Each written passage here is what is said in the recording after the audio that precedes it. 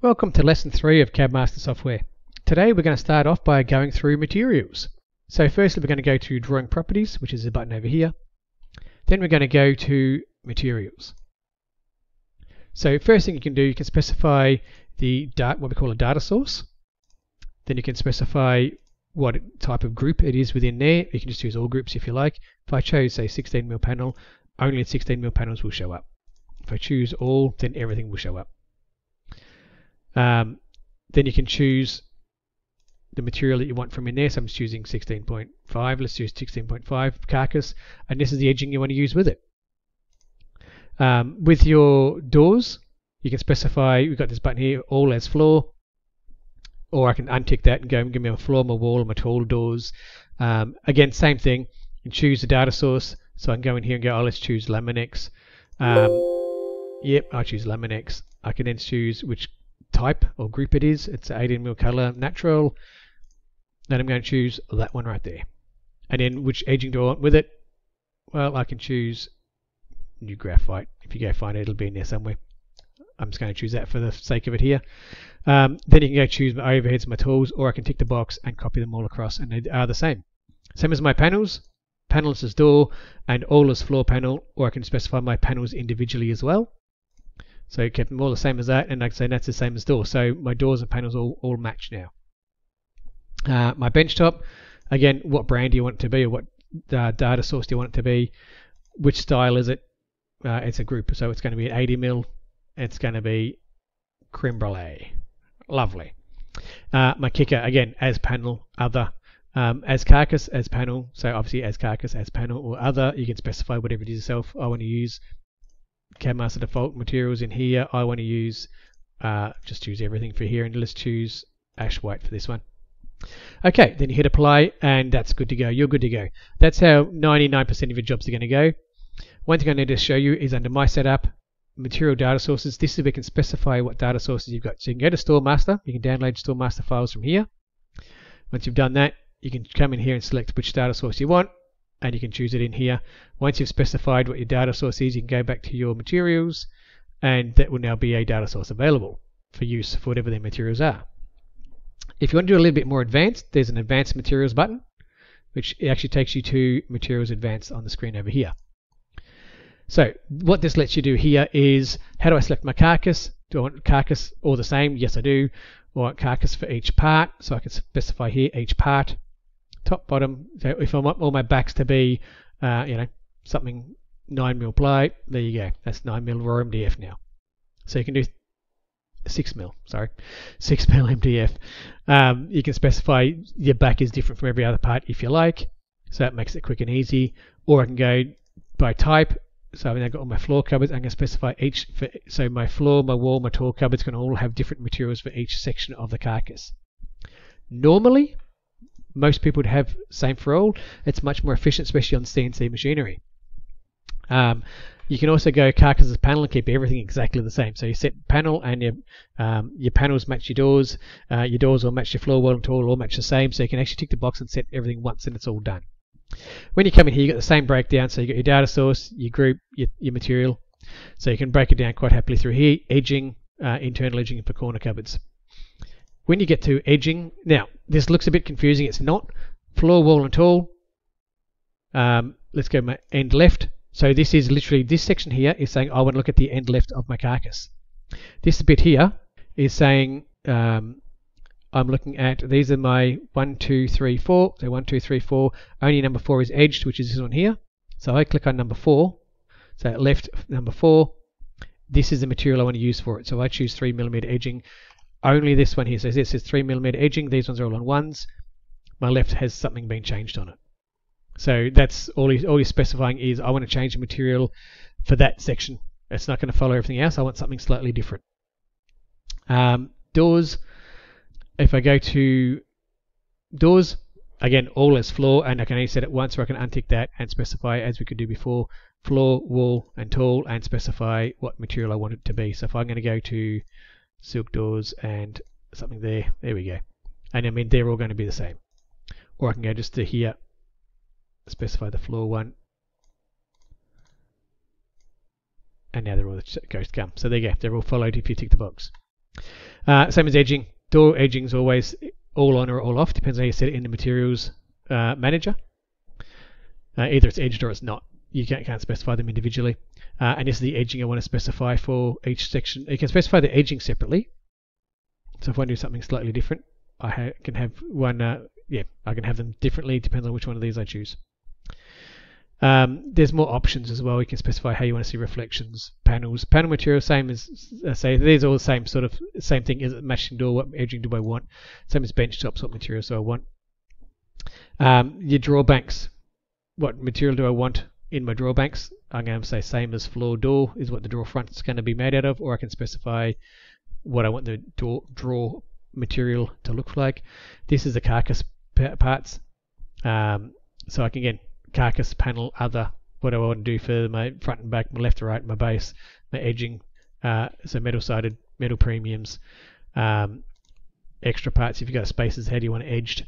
Um, if you want a kickboard in here, again, how do you want your kickboard made out of? You can actually specify one of the materials we quite often do, especially for things like kickboards, for your sleepers specifically. Um, if I go to all groups and you specify down the end here, you go carcass white no machine. You can specify, which I'm going to show you in the machine manager in a moment, you can specify a non-machining material, so it will put it onto your report but won't send out to your CNC for cutting if you're going to use offcuts and things, which a lot of people do for sleepers. Uh, bulkheads, we don't want your bulkhead to look like, what material you want it to look like. Um, there's some general options. You don't generally set any of those in your normal settings, and set and forget. The last one is manager when you get, and yes, sorry, I had to rush through that very quickly. There's not a lot you set in these. Quite often, you it's just, it's something a little bit advanced, but generally you set it once and it's all done.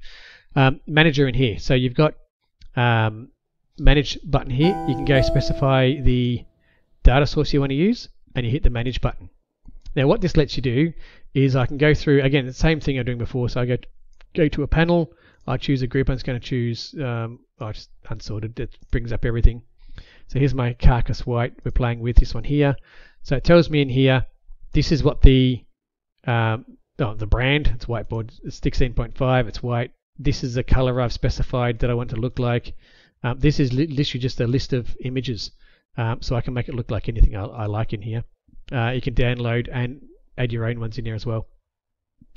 Options, what does it look like? Is it transparent? No. Does it have edging? Yes, it does. This is where you can specify in door material if it's edged or not. That's the button there. CNC. Do you want to go to a CNC or not? If you don't want to be machinable, untick the CNC box. It won't send it to your CNC.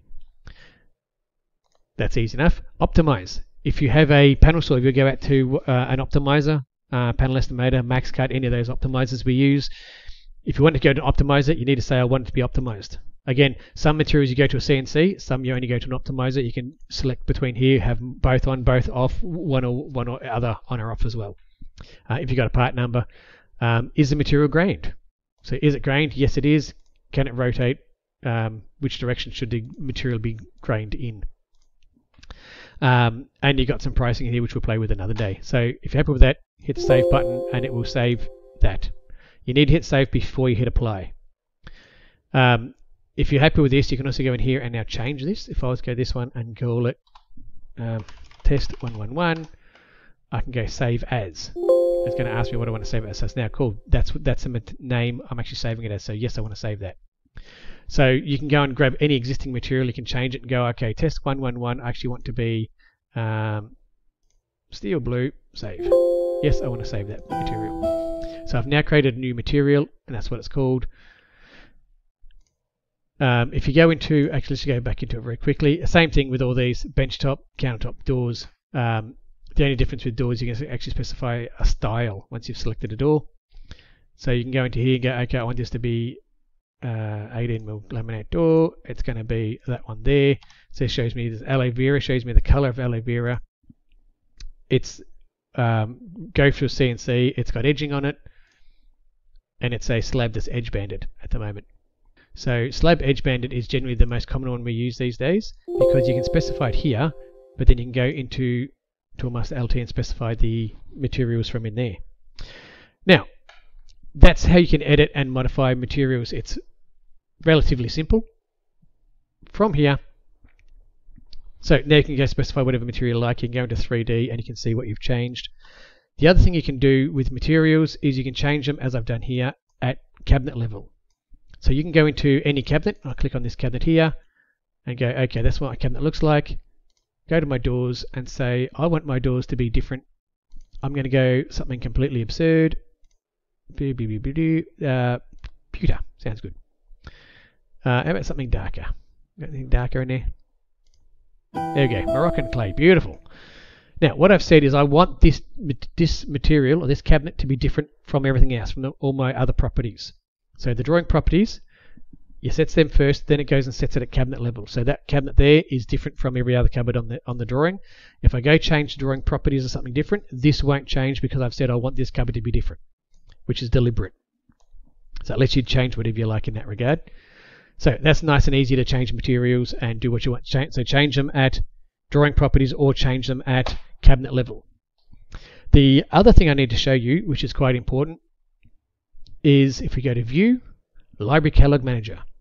Now, as I've said previously, drawing properties only changes it from this drawing onwards. So anything I change in here is from this drawing onwards. Change my materials. When I start up, it's going to go back to whatever my default settings are. Now, if we go to View Library Catalog Manager, if you've got this, if you've got a Designer 3D or CL, you won't have this. So it's only Pro and Premium have this option. So Library Catalog Manager, this is all of my cabinetry in here. If I go to Catalog Properties, this looks exactly the same as Drawing Properties, apart from this is your defaults. Anything you change in here will stay permanently. So this is again materials exactly what we've just gone through. You got your clients, you got your job defaults, any of these things, these are permanent. So you can see it's got a salmon background. Anything you change in here will stay permanently. So don't change anything you don't want changed permanently. So that's got your catalog properties. Um, the other thing in here you've got is these are all my cabinet cabinets in here. I can now click on this as a floor 2 door. I can just right click and go duplicate. And I can call this a floor 2 door test 111 tester. There you go. And I can't type today. Uh, this should be alphanumeric only, so don't put any special characters in the names. So what am alphanumeric? Letters and numbers. No know, question marks and backslashes and all those sorts of things. Just letters and numbers. Uh, okay, so I can go into test 111. Um, I can do whatever, again, salmon background, so it's going to be doing something. Going to my cabinet, I can say this one's going to be 700. Um, it's got two doors, but they're always independently hung on the left, for example. There we go you can go and change any of your settings in here you want. I can change the number of doors, I can change the, options. So I want one shelf, I'm going to have two shelves and I'm going to be set back 50 mil. Uh, I can do anything I want in this, and that's how you go and duplicate and make all of your own cabinetry in here. A very quick um, option I'm going to show you very quickly. Uh, if I go rename this uh, F2 uh, 900, for example, so a lot of people call their floor 2 door 900. If the width of the cabinet matches the size on the end of it. Remind me later, I'll show you what that does. That's a, that's a secret we've got going right now. Okay, so you can duplicate anything you want in this. You can make your own. So this is how you make your own cabinet. Start with something and modify it any way you want. Um, the other thing you got in here is you right click, you got insert unused base-ons, and there should be none. If we add new cabinets to the library, that's how you get them into your library. You got to come into Library Catalog Manager, insert unused base-ons, and it'll bring in any new cabinets that haven't been added to your catalog yet. So this is your library that sits in front of our library essentially. So you can come in here and duplicate any cabinet you want. If you want to make more doors, you can also turn things off and on. If there's cabinets in here you don't like, you can get rid of them. Um, so I can actually click on click on this cabinet here and just go clear or duplicate or just turn it off. If I if I don't want it in my library but I don't want to lose it, just turn it off. That's what you need to do. So it's still here. You can turn it back on whenever you want, but it hasn't been lost, but it won't be in your selection anymore. Um, so this is, say, the Library Catalog Manager. Click up here. You can also delete. I find it easiest using everything with a right-click menu. So right-click on that one. Um, if you want to rename something, um, you click on it and you click on it again. So left-click twice, and it lets you do it. So don't do it too fast. If you double-click, left-click, it opens it up. If you left-click, left-click, left-click, then it lets you edit the cabinet name. So click once, click again, then you can edit it whatever you want. So that's how you do that one. Um, again, catalog properties, set all your default settings in there. Then you go modify in here. Once you've done save and exit. Now, what you need to do from here is you'll possibly find, it may not be there yet, or is it there? It is there. Okay. Now, this one won't have an image. So the other cupboards have images. If you now go to, and it'll put an error down there saying the image is missing. That's what the error down the bottom right hand corner is, that orange exclamation mark. Options, so file options, images, and you can go generate missing images. And you can see it's scrolling across the bottom. It's fairly quick to do this. If you generate all images, it's actually fairly slow, but if you do this for each one missing, okay. So if we now go back to floor, standard F2111, we've now got an image of that cabinet we just created. Uh, and then we can also go to uh, this one here, F2900. Now, this one here, the secret I was telling you about, another option very quickly, that's cabinet 13. So it's cabinet 13. If you right click on your desktop, go to options, it pops up with this screen here, and you can change this label display. Instead of ID, you can, if you change this to user defined, it will now tell us that's an F2900. Now, if you've got all your cabinets there, this can be a bit unruly with all the big names, the number is a secret because if I now stretch, it changes the size. It knows it's the size of the cabinet. If the number of matches, there you go. So there's a quick cheat code for everybody. So you can very quickly see what the size of that cabinet is, where a floor two door obviously won't do that. So hopefully that's been informative for you today. Thank you very much for watching.